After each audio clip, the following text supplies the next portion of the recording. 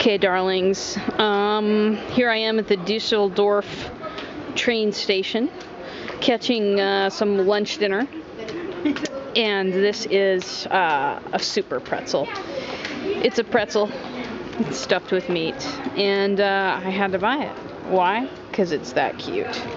Um, I, it's inexplicable what I felt when I walked walked by uh, this particular piece of food. It's just, it's so funny. Um, so, you know, um, whatever gets you going, I guess. Uh, I just had to report this food happening to you, my fans, or at least the people that feel obligated to watch this for some reason. I don't know who you are, but you probably have better things to do.